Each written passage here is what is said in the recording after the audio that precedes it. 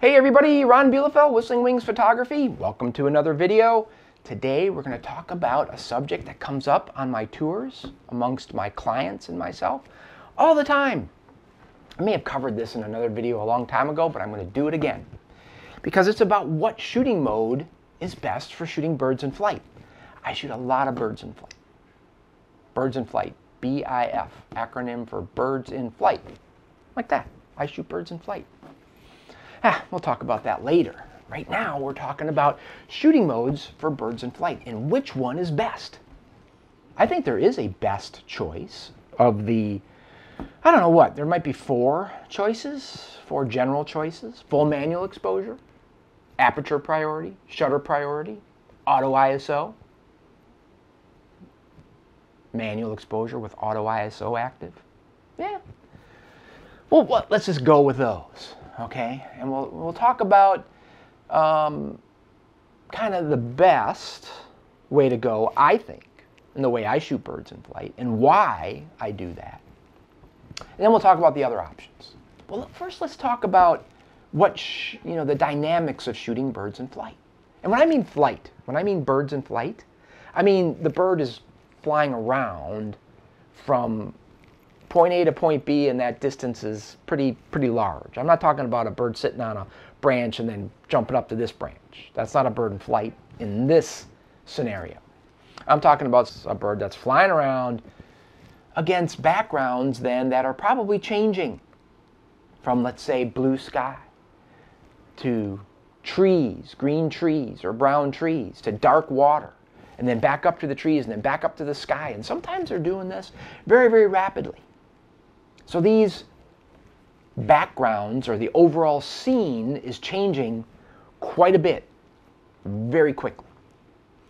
And so that right there makes me think that full manual is probably the best way to go. Because what's most important? Getting the exposure correct on your subject, your bird in this case. This is subject photography.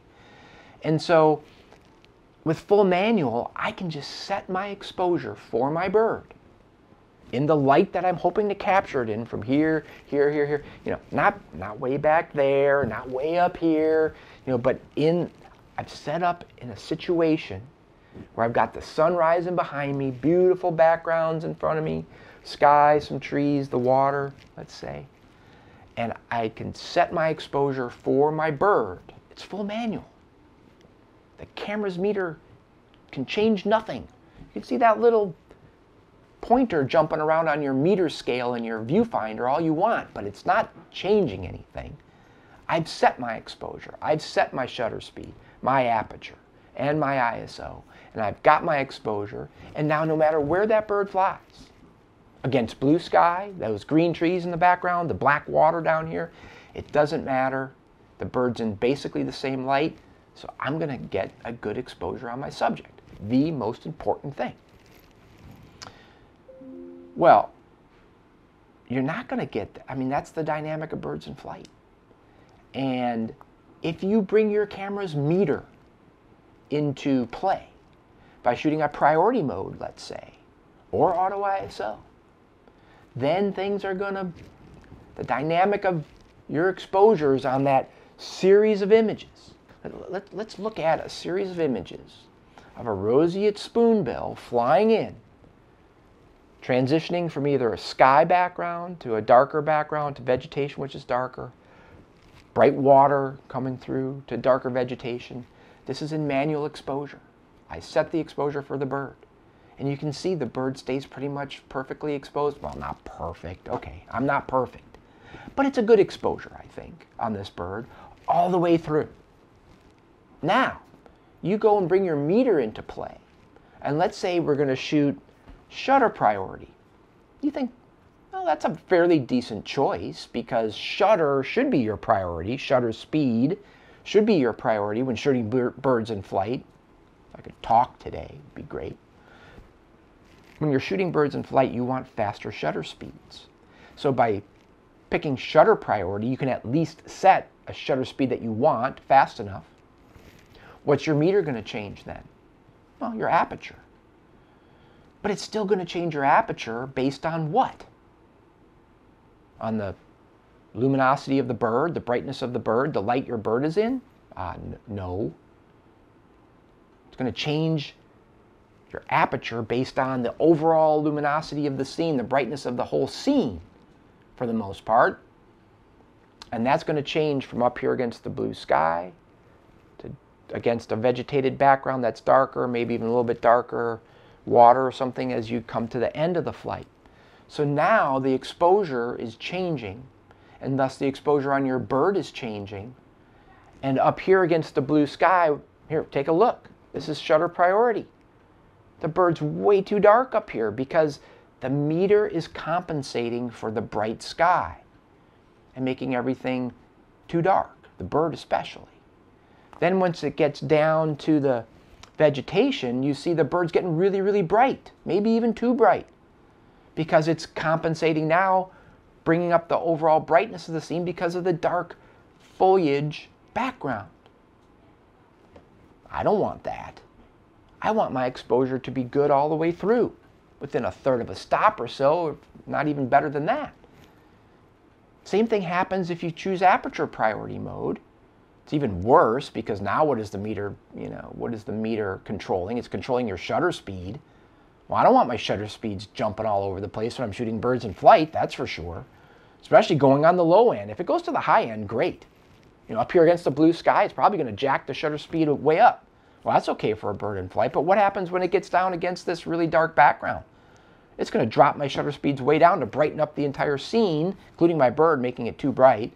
But then my shutter speed's way low. What, 1 250th of a second maybe or something like that? Wow, you know. You can get some sharp shots of birds in flight at 1 250th of a second, but I don't think it's an optimal thing, and I don't think that's what most of us are trying to, to set for our shutter speeds out there shooting birds in flight. So aperture priority isn't so great. Yeah, what about Auto ISO, what about setting your aperture and your shutter speed to where you want it? That's nice, keeping it there. Meter's not going to change that, but letting the ISO bounce around. Well, that's better, I guess, but it's still going to change your exposure of the bird of your bird based on background or overall scene luminosities, and you're going to get many frames of your bird where your bird is exposed less than optimal, less than optimally based on what you wanted. So auto ISO really isn't a scenario for, you know, isn't really the setting for this kind of shooting scenario. Shoot full manual. Set for your bird and the light you want to capture it in. That's why I shoot full manual, because you can deal with changing overall scene luminosities. Well, then, you know, I've got my clients saying, well, yeah, that's if you have your meter set to like evaluative or something, or even center weighted where it's looking at the whole scene.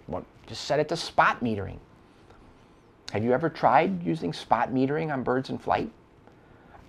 I shoot Canon for the most part. And Canon cameras, when you set them, the R3, the R5, the R7, for example, when you set them to spot metering, it puts a circle in the middle of your, your frame. It's not a very big circle. It's not a little bitty spot. Okay, it's it's a circle. You got to keep your subject in that circle in order for it to meter off of your subject. That can be difficult when you're trying to pan with a bird in flight. What if the bird's relatively small? It's not even going to fill the circle, so it's still going to be bringing in some background elements into your exposure. And hey, even if you could keep that circle on your bird. There's light spots on your bird. There's dark spots on your bird. There's wings coming down, shadowing the bird one second, and then up in full brightness on, let's say, the spoonbills, which are bright pink and white and stuff. You know, you're, trust me, your exposures are going to be all over the place. Even worse than if you shot an evaluative metering or center weighted metering or something like that, where it's looking at the whole scene luminosities and setting your exposure based on that. Spot metering is not the solution. Now, then I get people that say, well, I'm just going to, I'll, I just dial in different exposure compensation as it's flying around. Hey, if you can do that, more power to you. I'm in some scenarios where that bird is against all different overall scene luminosities every couple split split seconds. We're not talking about every couple seconds, in a split second. I can't dial in exposure compensation that quickly and be accurate about it. And why, even if you can do it, why? Why put yourself through that in my mind. I'm not saying you, I'm saying, in my mind, I'm saying, Ron, why put yourself through that? Just set your exposure, manual exposure, for your bird and the light you're trying to capture it in, and you're good to go no matter where that bird flies against blue sky, dark trees, darker water, whatever, it doesn't matter. If it happens to go way off axis of the light, sunrise behind us, well, then I've got ISO set up here and I can change it a little bit and I can do that pretty quickly. But anyway, that's why I choose to shoot manual exposure for birds in flight because it just gives you the maximum number of well exposed frames when you've got a bird that's flying against all sorts of different backgrounds or scene luminosities in a, in a few seconds sometimes. The other reason why, you know, shooting manual exposure is great is because it gives you more ability to be creative. For example, with these roseate spoonbills, there's a time when the sun's coming up, they're lit up beautiful with a sunrise, but the background is still shaded. If you crank up your shutter speeds to say, you know, on these mirrorless cameras now, what? How about 1 12,000th of a second? Something like that and you get the bird and everything else set, your ISO and your aperture, of course, to where that bird is exposed nicely. But because of that really fast shutter speed, when it gets a, when that bird flies against that really shaded background, you end up with a perfectly black background. Nicely lit up bird, background completely blacked out. Try doing that with a any kind of priority mode. It's not going to let you. Shooting manual is the way to take total control of your exposures and be as creative as you can be. So right there, I think that's just a really amazing, you know, reason to shoot full manual exposure and shoot it all the time, really. I, I hardly ever shoot a priority mode. When would I shoot a priority mode? Well, there's a couple, well, I'll just give you one scenario. And uh, first, I'll give you the general scenario. When you have a background and a subject where the light is changing in concert with each other. So if the sun comes out, the background the bird's against gets brighter, and so does the bird. When the clouds come, the background behind the bird gets darker, so does the bird. Okay, that's not the case when you're shooting a bird in flight, where it's lit the same all the way, and the background or overall scene luminosities are changing independent of the bird. Okay, that's that's where that's where manual comes in. So let's say we have warblers in a bush and it's a partly cloudy day and it's windy and it's cloudy, then it's sunny, then it's cloudy, then it's sunny. Woo! I could shoot manual exposure there in that scenario, but it would be, you know, moving the dial all the time. And that's a lot of work. Hey, shutter priority might be the better way to go there. Let the meter change when the sun comes out and when the sun goes back behind the cloud, let it change the, the exposure based on my original setting with exposure compensation dialed in for, for my subject. A lot easier way to shoot that. It's not really birds in flight, but that's what we're talking about here. But there's an example of where I would shoot a priority mode. Maybe auto ISO would be that would be a great scenario for auto ISO to me. So anyway, that's you know that's it. I just really it's an interesting conversation that I have many many times with people. And you know, there's nothing magical about shooting manual ex- exposure, fully manual.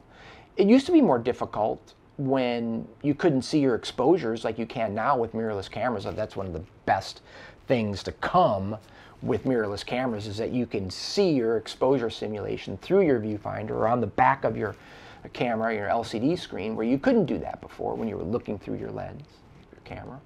So now, you know, shooting manual and getting your exposures correctly has never been easier. So there's, you know, no real excuse not to shoot manual exposure a lot of times.